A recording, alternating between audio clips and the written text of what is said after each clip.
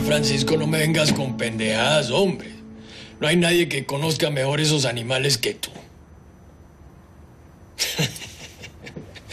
bueno, déme unos datos, pues, para saber cuál es el que tiene las mejores posibilidades de ganar.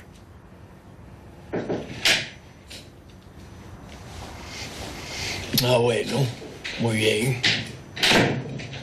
Nos vemos, pues. Eh, este es un contacto que cualquiera quisiera tener.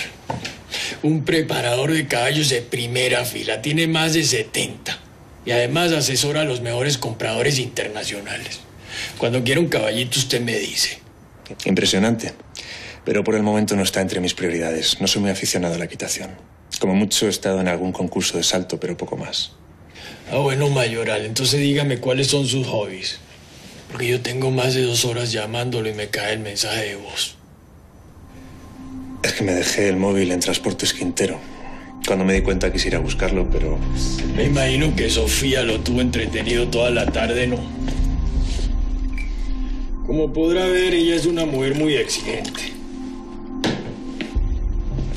Es difícil complacer sus gustos.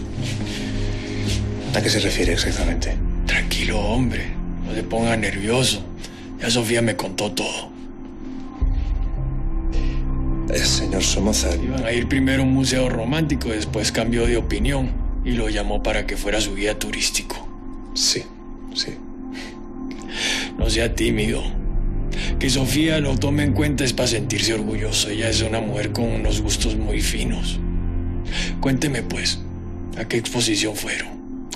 Bueno, yo no intervine mucho en la toma de decisiones. Fue Sofía quien eligió ir a una exposición. Buenas tardes. Sofía Cariño.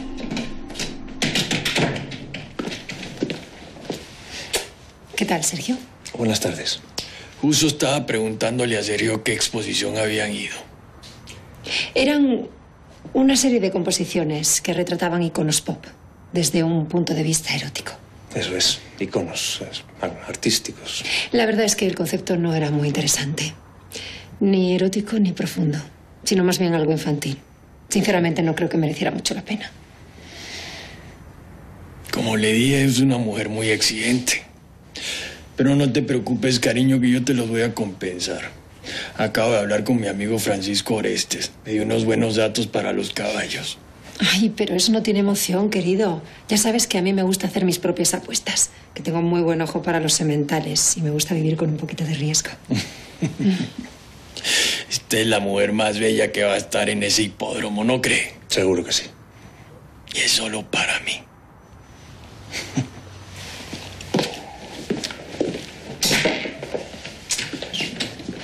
No olvide recoger su móvil de transportes Quintero.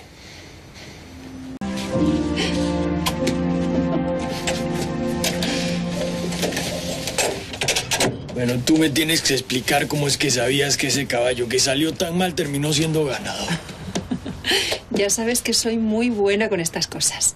Da igual que sea ponerle el precio a un cuadro que adivinar el futuro político de un presidente del gobierno o acertar con el caballo ganador. es verdad. Desde que te conozco tienes muy buen instinto. Y tú muy buenos contactos. Entre tu jugada y la mía, la noche ha sido redonda. ¿Ya ves? Hacemos muy buen equipo. ¿De verdad todavía piensas eso? No he dejado de pensarlo nunca, querido. Pero los días en los que me consultabas a quién debías mantener o no en tu círculo de confianza y con quién debías aliarte, ya pasaron. Tú me ayudaste a forjar mi imperio.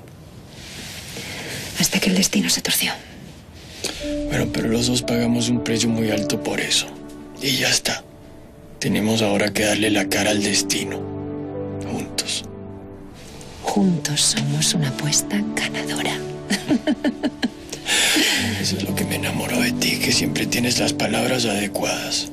No fue eso lo que te enamoró de mí.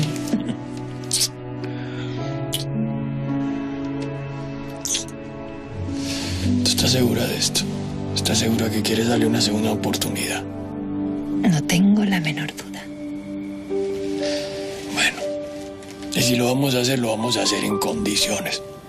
lo primero que vas a hacer es mudarte a mi casa, porque yo no quiero venir a visitarte aquí como si fueras mi amante.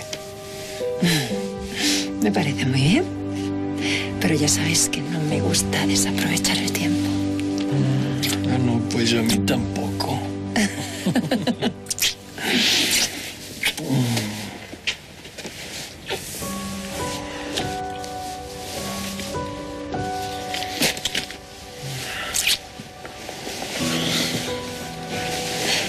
¿Te acuerdas de aquella noche en el hotel de Bogotá?